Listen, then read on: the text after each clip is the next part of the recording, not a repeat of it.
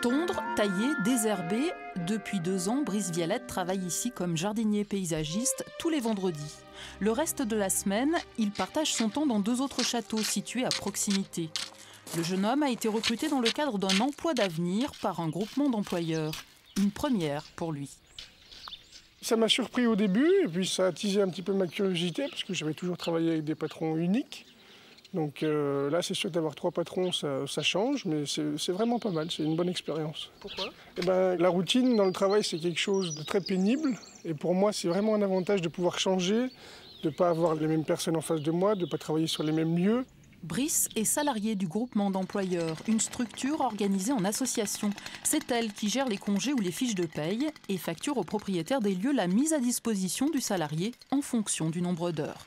Tout ce qui est administratif, c'est fait par le groupement d'employeurs. Donc pour nous, c'est, les fiches de salaire parviennent directement donc à Brice. Donc pour nous, c'est très bien. Et ça nous permet après de, ben, voilà, de, d'avoir aucun souci de, ce côté-là. Les co-employeurs de Brice, les voici. Tous sont propriétaires gestionnaires de monuments historiques privés. Ils sont aussi les premiers engagés dans cette aventure. Par sa densité de patrimoine, l'Auvergne et notamment l'Allier offrait un terrain privilégié pour une expérience pilote autour du temps de travail partagé.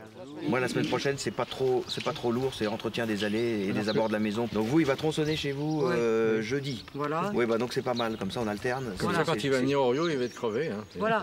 On avait un problème sur les questions de main d'œuvre parce qu'on a des besoins de main d'œuvre très diversifiés. Euh, de l'entretien de jardin en passant par euh, la petite maçonnerie, l'homme toute main, ou des tâches plus tertiaires de secrétariat, de site internet. et ce sont des besoins à temps très partiels. Or, on ne peut pas, compte tenu du modèle économique de nos monuments, se prendre des emplois à temps plein sur chacun de ces sujets. C'est de là qu'est née l'idée de mutualiser les besoins. Deux ans plus tard, le groupement s'est agrandi. Il compte 10 salariés pour une quarantaine d'employeurs adhérents en Auvergne, mais aussi en Bourgogne, Bretagne et Normandie.